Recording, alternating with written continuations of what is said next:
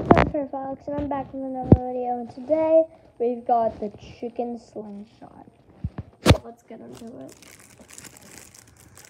Also, sadly, Squishmallow Part 2 isn't gonna happen. Sadly, depressingly. It is very depressing, I know.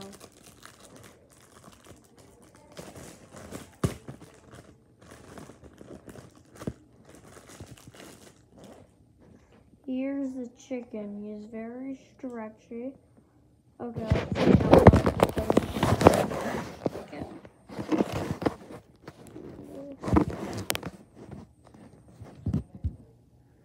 Okay, so how do you use him?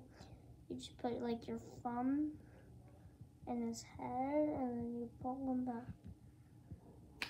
Oh, it didn't work.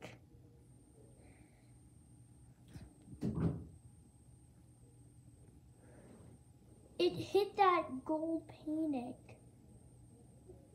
It hit that. so yeah, that was the chicken. See you next time. Bye.